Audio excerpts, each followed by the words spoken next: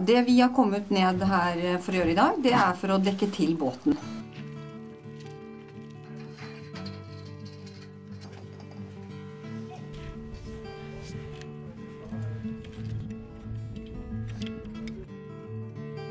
Jeg har alltid hatt litt stress til sjøs, men min mor sa det var farlig. Så eh, derfor, derfor ble jeg bankmann istedenfor.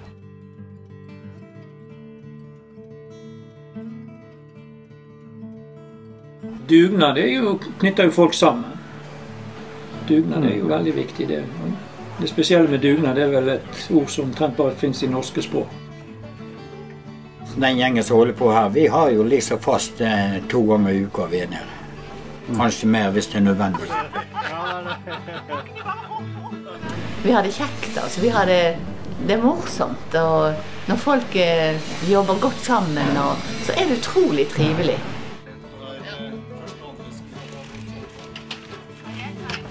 Ja, De frivillige er jo eh, helt avgjørende. Eh, Norsk fartøyvern er slik organisert at det i, i eh, hovedsak hviler på frivillig arbeid. Det ubetalte arbeidet etter klokken fem er det som holder disse båtene flytende. Jeg sier at det er greit å ikke få betaling, men det sosiale det koselige vi har i lag, det er jo veldig like godt. Vi får jo mat og kaffe. og sånn. Altså Denne båten her, den har gått inn i Hardanger mellom Odda og Granvin. Der hadde han 54 stopp. Og eh, alle folk der inne de hadde et forhold til denne båten.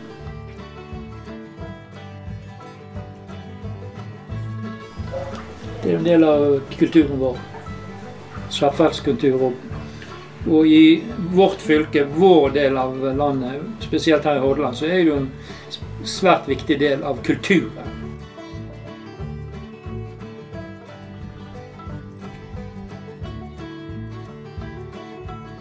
Første båten jeg begynte å jobbe på, var vel 50-55 år siden.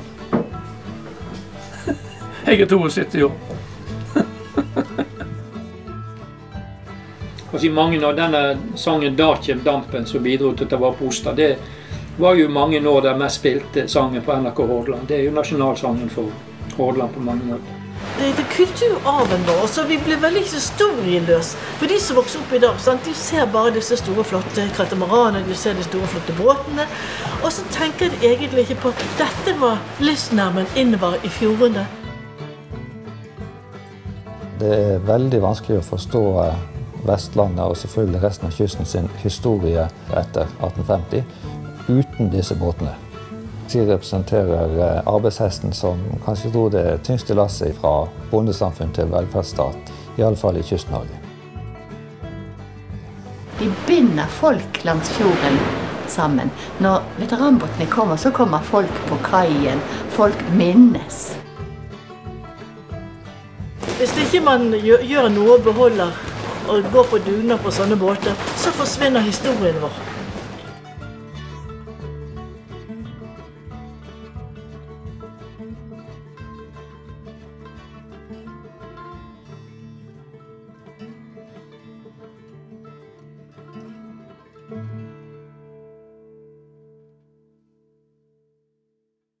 Men nå har jeg jo fått levet opp drømmen min, og å reise med Granvin. Og, og nå, nå, nå er de i blodet på deg. Ja.